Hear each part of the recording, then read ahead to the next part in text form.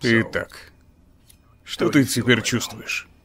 Ну, это был ураган. У меня всегда были свои демоны, и поэтому я ушел. Чё, как, Джимбо? Привет, мистер Линдзи. Этой осенью. Но иногда у меня возникает тяга, от которой не отмахнешься. Воу, воу, полегче. А чё, проблемы? Просто у меня пунктик насчет крови. Темный попутчик ждет. Каждый день я иду по этому миру, притворяясь,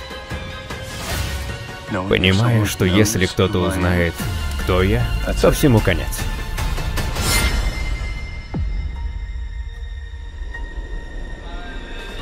От прошлого можно спрятаться, но нельзя сбежать.